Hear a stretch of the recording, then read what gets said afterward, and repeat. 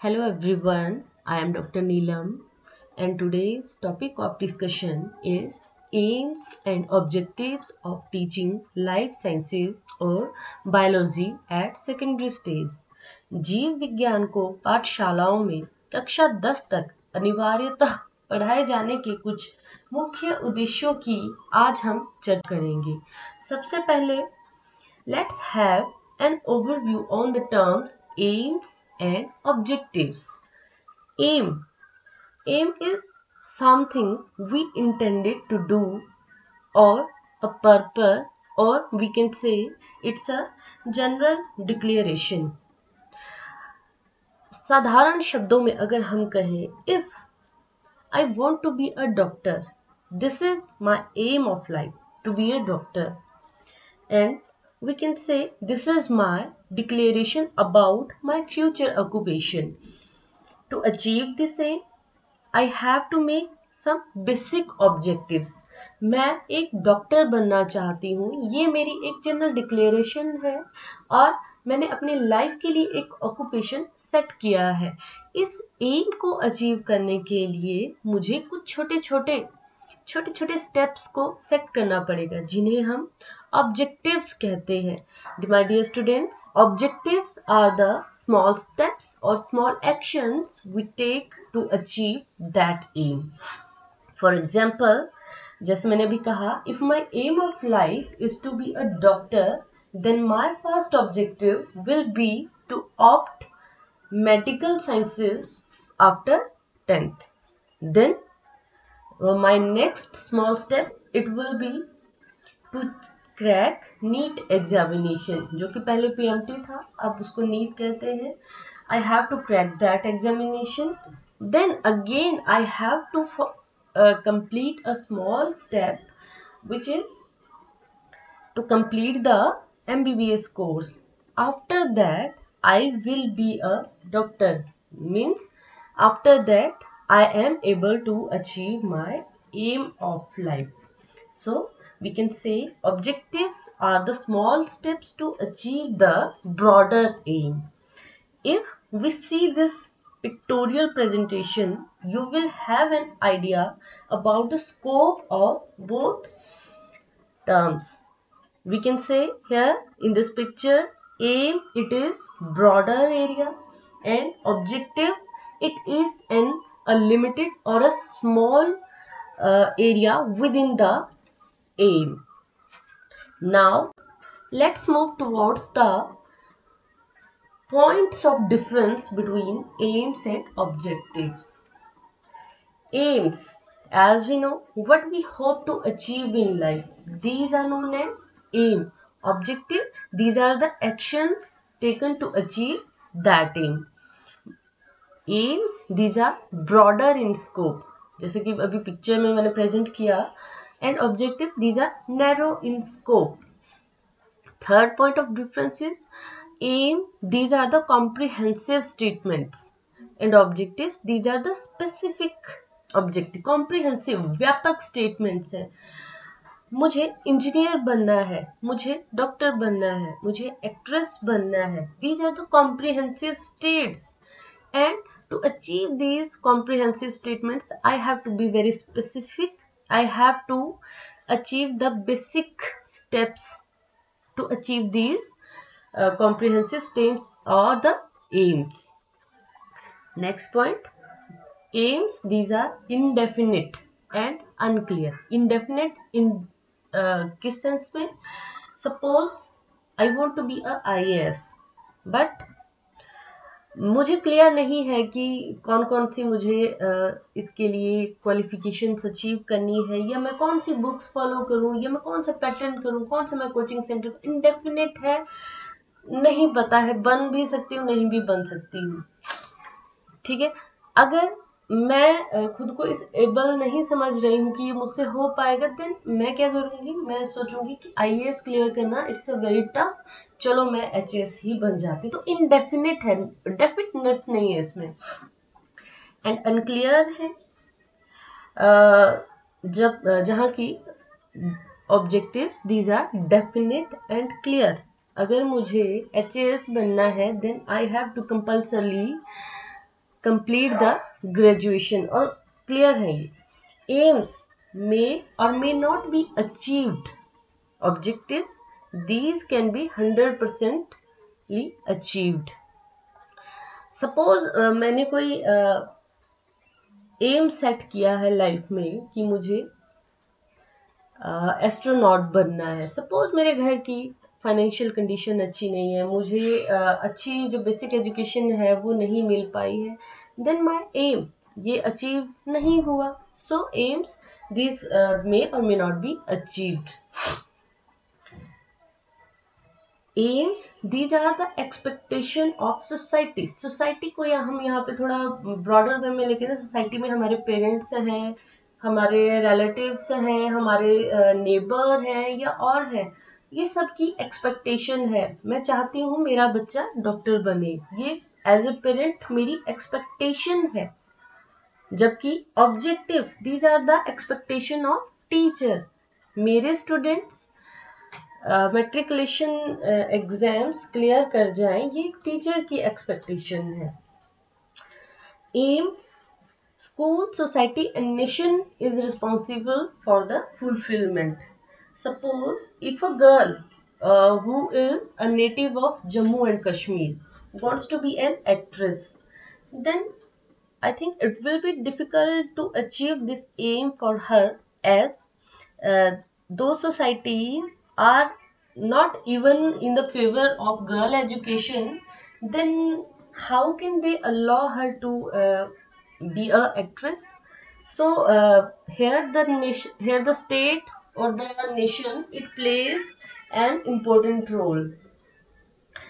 Uh, जबकि अगर आप ऑब्जेक्टिव्स के केस में देखेंगे only teachers is responsible for the fulfilment सिर्फ़ टीचर जो है अगर बच्चे ने टेट एग्जामिनेशन क्रैक करना है और उसके टीचर ने उसको अच्छे से गाइड नहीं किया है अच्छे से उसको स्टडी मटेरियल नहीं प्रोवाइड किया है तो उसका जो टैट क्लियर करने का जो ऑब्जेक्टिव है वो पूरा नहीं हुआ just because of the ignorance of teacher so only the teachers are responsible for achieving objective aims these take much time इनको एम्स uh, के कंप्लीट होने में ज़्यादा समय लग सकता है जबकि in case of objective short span of time will be taken aim आपका कुछ हो सकता है लाइफ में आपको ज़्यादा समय उस चीज़ के लिए लग जाता है उनको कंप्लीट करने के लिए, जबकि ऑब्जेक्टिव क्या है, ये टाइम बॉन्डेड होते हैं।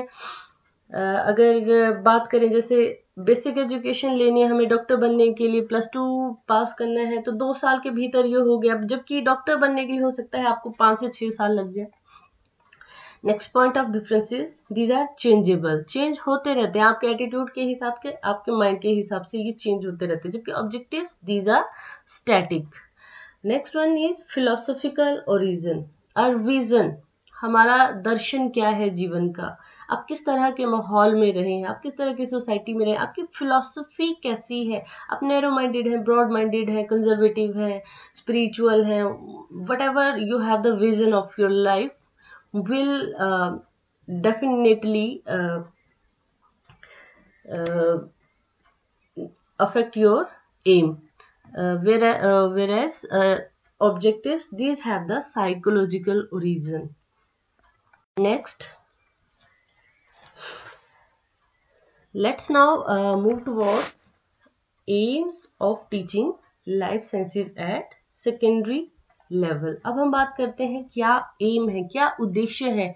कौन सी वो ब्रॉडर एम्स है टीचिंग ऑफ़ लाइफ साइंसेस को स्कूल्स में पढ़ाए जाने की। ठीक है? सबसे पहला है to increase the understanding of living world बच्चों में जो हमारा लिविंग वर्ल्ड है, जो हमारा सराउंडिंग इन्वायरमेंट है, उसके बारे में उनकी बेसिक समझ को जागृत करना।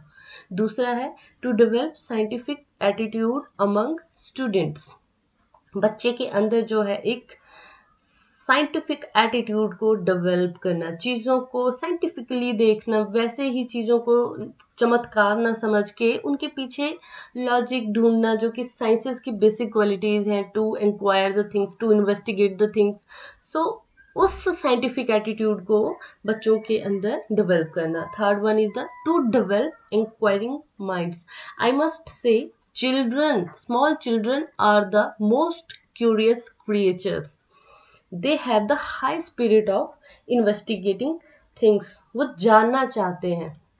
Why this happen how this happen ये कैसे हुआ? ये क्या है? ये क्यों है?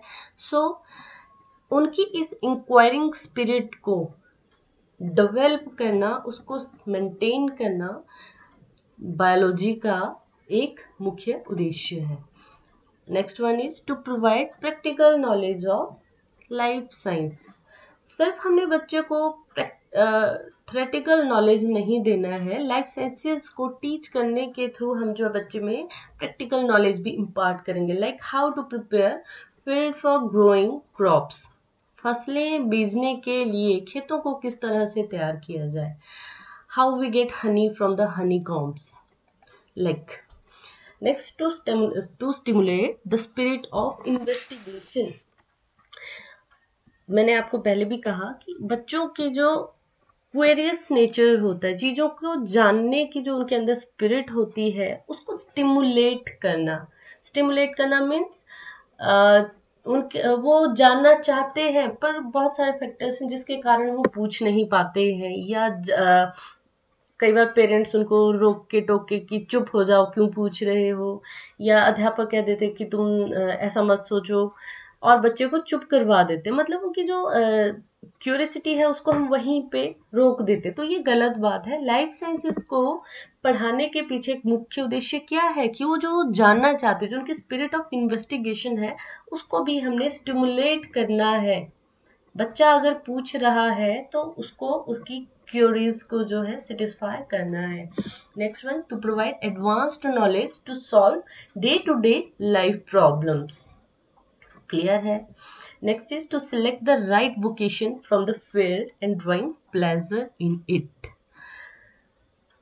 biology को स्कूल्स में पढ़ाए जाने के पीछे एक जो मुख्य उद्देश्य ये भी है कि बच्चा जो है अपने लिए एक सही सही वोकेशन को ऑप्ट कर सके और ऑप्ट करने के बाद उसमें खुश रह सके। बच्चों, हम में से बहुत से लोग ऐसे हैं जो वो बनना चाहते थे, जो वो एस्पायर करते थे, उसको ना करके वो कुछ और कर रहे हैं और उसमें क्या है? खुश नहीं है। They are they are doing their job only for the sake of money not they are not happy in that particular field. आप अपने बीएड में ही ले लीजिए। मैक्सिमम बच्चे मुझे ऐसे मिलते जो कहते हैं कि हमें पेरेंट्स ने भेजा है। Next is to develop the disciplinary values disciplinary values like uh, have patience to be honest uh, so these kind of disciplinary values uh, को develop करने के लिए भी इसको स्कूल्स में पढ़ाया जाना चाहिए next one is to provide guidance to students teacher का एक सबसे बड़ा रोल क्या है टू बी अ गाइड बच्चों को सही डायरेक्शन देना, उनको सही डायरेक्शन में गाइड करना। तो ये इसका एक बहुत बहुत अच्छा वाला या मुख्य उद्देश्य है। Next is to make contribution in nation's progress बच्चे पढ़ लिख कर जब वो साइंटिस्ट बन जाएँगे, कुछ नया कंट्रीब्यूट करेंगे सोसाइटी के लिए कुछ नई चीज़ों की वो इन्वेंशन करेंगे, कोई नई वैक्सीन्स बनाएँगे, नई मेडिसिन बनाएँगे, इस तरीके की कंट्रीब्यूशन के लिए बच्चों को तैयार करना, जिससे कि देश का नाम हो, देश प्रोग्रेस करे। Next is to develop an interest in biology as a natural science biology में बच्चों का इंटरेस्ट डेवलप करना। Now let's move toward the general objectives of teaching life sciences at secondary level general objectives की अब हम बात करेंगे। पहले हमने जनरल ऑब्जेक्ट एम्स पढ़े। मुख्य उद्देश्य अब हम बात करेंगे small steps quite narrow objectives narrow aims of teaching life sciences at secondary level objectives uh, i must say here objectives are of two types. General objectives and the specific objectives so here i am discussing with you the general objectives of teaching life sciences at secondary level first one is to to think and reason scientifically पहले भी हम इन चीज़ों को discuss कर चुके हैं अब हम ज़्यादा इसमें फोकस नहीं करेंगे next one is to write speak and work with accuracy science एक ऐसा सब्जेक्ट है जिसमें आपको हर चीज़ को एक्यूरेसी के साथ करना पड़ता है। आप थोड़ा सा भी केमिकल्स को इधर उधर कर देते हैं, थोड़ा सा भी आपकी हैंडलिंग इधर उधर हो जाता सपोज़ आप डाइसेक्शन कर रहे हैं, अर्थवॉर्म का डाइसेक्शन कर रहे हैं, जरा सा आपका हाथ इधर उधर हिल जाता है, आपका पूरा का पूरा एक्सपेरिमेंट फेल हो जाता है। So, you have to handle, you have to work with accuracy so to develop this accuracy among students it is a general objective of teaching life science next one is to remove superstitions बहुत सारी भ्रांतियाँ बहुत सारे भ्रम हमारे समाज में फैले होते हैं लाइक शमशान घाट में रात को उड़ती हुई आत्माएँ जिन्हें हम तो जल्द शिरा भी कहते हैं कि वो दिखाई देते हैं पर बच्चों हम जब हमने पहले तो हम भी ये सोच के डर जाते थे कि सच में ऐसा होता होगा, क्योंकि वो छोटे छोटे फायर्स ऐसे उड़ती हुई दिखती हैं। हमें सच में लगता था कि ये जल्द शिरे हैं, ये अगर हम सोएँगे नहीं तो ये आ जाएँगे। क्या थी, एक भ्रांति थी। पर जब हमने स्कूल में, साइंस में जब अब थोड़ा नाइन्थ टेंथ में सारी चीज़ें पढ़ी तो फिर हमें मालूम हुआ कि वो क्या था, वो फॉस्फोरस जो हड्डियों में फॉस्फोरस होता है वो रात बर्न होता है तो वो रात में वो दिखते हैं ऐसे छोटे छोटे उसके जैसे जुगनू होते हैं ना, उनकी तरह दिखते हैं वो, उड़ते हुए। तो वो क्या है वो? एक, जब हमें, हमने नॉलेज लिया, तब हमारी वो सुपरस्टिशन जो है वो रिमूव हुई। तो to remove the superstitions next one to develop mental and reasoning power of students ये बहुत क्लियर पॉइंट है। Next to impart knowledge of concepts and principles of biology various concepts principle theories facts phenomena everything सबका knowledge impart करना बच्चे को next one is to make student disciplined okay next is to promote a sense of responsibility जब आप किसी experiment को conduct करते हैं तो आपके ऊपर वो एक रिस्पॉन्सिबिलिटी होती है कि रिज़ल्ट सही से आए, वो एक्सपेरिमेंट सही से कंडक्ट हो। तो बच्चे में जो है सेंस ऑफ़ रिस्पॉन्सिबिलिटी डेवलप होती है। Next one is to develop the decision maker powers abilities obvious सी बात है, जब बच्चा एक्सपेरिमेंट करता है तो आप, मैं अब ये इस वक्त पे इस केमिकल को, इस टेस्ट ट्यूब में डाल दूँ या ना डाल दूँ? ये क्या है एक डिसीज़न मेकिंग सिचुएशन है आपके पास। अच्छा अब पौधा अब बीज से पौधा थोड़ा सा अंकुरित हो गया है तो क्या अब इसमें खाद डाली जानी चाहिए या नहीं? छोटे बच्चे की मैं बात कर रही हूँ सपोज़ प्राइमरी लेवल पे। तो ये क्या है? एक बच्चा डिसीज़न मेकिंग उसमें, उसके अंदर जो है डेवलप होती है। Next one is to develop an appreciation of the diversity among living things appreciate करना डाइवर्सिटी को। फोना फ्लोरा मैंने आपको पहले कहा था हमारे अर्थ पे various kinds of plants various kinds of animals thousands variety of fishes बहुत सारी चीज़ें हैं तो उनमें, बच्चों में वो एप्रिसिएशन सेंस एस्थेटिक सेंस को डेवलप करना। Next is to develop the practical skill and proper handling in laboratory बच्चे के अंदर जो है प्रैक्टिकल स्किल्स को डेवलप करना और लेबोरेटरी में अप्रेटिस को प्रॉपरली हैंडल करना। ये आप, ये ऑब्जेक्टिव भी रहता है लाइफ साइंसेज का। Next is to develop scientific competency simple है। Next is to achieve objective related to occupation and earning livelihood my dear students wholly solely अगर मैं कहूँ तो हमारी एजुकेशन का बेसिक एम ही क्या है? To earn to earn a basic bread butter okay so ये नहीं कि डिग्रीज डिग्रीज डिग्रीज हमने बहुत सारी अचीव कर ली हैं बट हम उन डिग्रीज को यूज़ करके हमें नॉलेज नहीं है, हमने सिर्फ़ डिग्रीज कलेक्ट की है और उनके बेसिस पे हम एक जॉब तक नहीं ले पा रहे हैं और हम अपने लिए बेसिक जो हमारी नीड्स है, उनको फुलफिल नहीं कर पा रहे तो वो क्या है? वेस्ट है सारा। तो बच्चे में क्या करना है?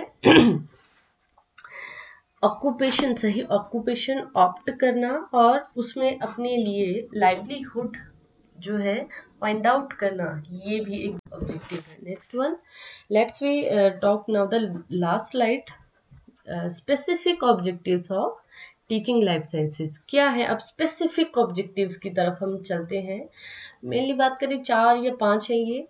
ज़्यादा भी हो सकते हैं स्पेसिफिक ऑब्जेक्टिव्स पर यहाँ पे हम मेनली फोकस है फाइव के ऊपर। First one is the knowledge objective बिना नॉलेज के तो कुछ भी नहीं हो सकता है। So knowledge is the base of everything so here in the at the secondary level biology की ही हम बात कर रहे हैं तो knowledge of what knowledge of various facts theories phenomenas terms principles etcetera which are related to the biology which are related to the life science जो उससे संबंधित जितने भी फैक्ट्स थ्योरीज फिनोमिना एटसेट्रा है, उन सबका बेसिक ज्ञान बच्चे को उपलब्ध करवाना। Next one is the understanding objective और अब अंडरस्टैंडिंग किस चीज़ की? नॉलेज तो है हमें, है ना? उन्हीं facts theories phenomenas principles concepts इन सब का नॉलेज होने के बाद उसकी अंडरस्टैंडिंग बच्चे में डेवलप करवाना, उसकी समझ डेवलप करवाना। Third objective is application objective. So in uh, application objective application of knowledge application of understanding in various day to day life activities in new situation in acquiring higher knowledge. Okay? Next one it is skills skill objective. So study of biology. As we know it helps the students in developing some kind of skills. Skills like uh, uh, अगर bio की हम बात करते हैं drawing and sketching skills dissecting skills experimental skills और इसमें हम herbarium बनाते हैं तो सही स्पेसिमिन कलेक्ट करना जैसे कि प्लांट्स का हम हर्बेरियम बनाते हैं तो उसमें क्या है? वो भी एक स्किल है। किस तरह के प्लांट्स को किस तरह के फ्लावर्स को हम कलेक्ट करें? स्किल है ये एक ठीक है? वो बच्चे के अंदर डेवलप करवाना। बायोलॉजिकल uh, साइंसेज में मतलब स्पेसिमेंट्स uh, कलेक्ट करना एनिमल्स के स्मॉल इंसेक्ट्स के वो क्या है? उनकी प्रॉपर हैंडलिंग भी क्या है? एक स्किल है। So skill objective next is interest objective अब बायोलॉजी जो है वो बच्चे में इंटरेस्ट को भी डेवलप करती है। इंटरेस्ट किसके regarding reading literature of biosciences visiting places of biological interest जैसे आप किसी हर्बेरियम में बच्चों को ले जाते हैं जैसे आ, मुगल गार्डन ले जाइए दिल्ली में है ना? आ, बच्चे को वहाँ पे नंबर ऑफ़ हज़ारों के हिसाब से वहाँ पर पौधों की फूलों की सॉरी फूलों की प्रजातियाँ हैं। मतलब बच्चे को पूरा मतलब सारा एक डाइवर्स वहाँ पे देखने को मिले डाइवर्सिटी फ्लावर्स की देखने को मिलेगी। तो बच्चे में वो इंटरेस्ट डेवलप करना, अगर कॉमन मैन जाएगा, वो क्या देखेगा? फूल फूल फूल फूल, हरा फूल, नीला फूल, पीला फूल, छोटा फूल, बड़ा फूल, है ना? एक कॉमन मैन के लिए, या कॉमन स्टूडेंट के लिए वो इतना ही मायने रखेगा। अगर एक बायोलॉजिकल स्टूडेंट वहाँ पे जाएगा तो वो देखेगा इसके थ्री पेटल्स हैं टू पेटल्स हैं फाइव पेटल्स हैं स्टेमंस इसके डेसेक्टेड है सिंगल है स्टेमिनेट इसका लीव्स कैसे हैं लीव्स लीव्स की शेप्स कैसी हैं श्रबी है वुडी है या क्लिम्बर है। सो so, क्या है? बच्चे में उसमें ये इंटरेस्ट डेवलप होगा। नाउ और किस तरीके के इंटरेस्ट बच्चा जो है बायोलॉजिकल साइंसेस के थ्रू डेवलप कर सकता है? Like collecting the specimens of plants and insects जब मैं स्टूडेंट थी तो मुझे वो इंसेक्ट्स के uh, हमारा इंसेक्ट्स का एक प्रोजेक्ट था। वो कलेक्ट करने में मुझे मतलब बहुत मज़ा आता था। तो मेरे अंदर जहाँ भी मैं इस किसी भी तरीके का इंसेक्ट देखती थी छोटा मुझे uh, मेरे अंदर एक वो जागृत होती थी इच्छा कि मैं इसको अपने जो मैं बॉक्स जो तैयार कर रही हूँ मैं उसके लिए इसको लेके चलती हूँ। उस चीज़ के लिए मैंने डांट भी बहुत खाई है पर मैं उनको पकड़ लेती थी कहीं भी। हालाँकि वो कई बार हार्मफुल भी होते हैं बट स्टिल मेरे अंदर क्या था वो इंटरेस्ट था कि मैंने इंसेक्ट्स का ये प्रोजेक्ट के लिए सुंदर सुंदर इंसेक्ट्स को कलेक्ट करना है। प्रिपरेशन ऑफ़ हर्बेरियम बच्चे में मतलब जिसमें आपने देखा होगा जो लाइफ साइंसेज के स्टूडेंट्स होते हैं आप उनको कहीं भी देख लेना वो आ, कहीं भी सुंदर फ्लावर या अलग टाइप का डिफरेंट टाइप का प्लांट या कुछ भी देखेंगे फ्लोरा में वो फटाफट उनको क्लिक करने लग जाते हैं। वो क्या है एक सेंस एक उनके अंदर एक इंटरेस्ट डेवलप हो चुका है फ्रॉम द अर्लियर एजुकेशन इसीलिए वो उनके अंदर वो चीज़ होती है। मेंटेनेंस ऑफ़ एक्वेरियम विवेरियम देखना आप जो लाइफ साइंसेज के स्टूडेंट्स हैं उनके अंदर ये ज़्यादा इंटरेस्ट रहता है कि वो एक एक्वेरियम को मेंटेन करें या विवेरियम एक टेरेनियम होता है इनको हम आगे डिटेल में पढ़ेंगे। गार्डनिंग uh, का शौक भी लाइफ साइंसेज वाले स्टूडेंट्स को ज़्यादा होता है। So these are the specific objectives education का मतलब ये नहीं है कि हम uh, बच्चे को सिर्फ़ कुछ एक फैक्ट्स uh, का नॉलेज दे दें कुछ एक इंफॉर्मेशन हम उनको इम्पार्ट कर दें।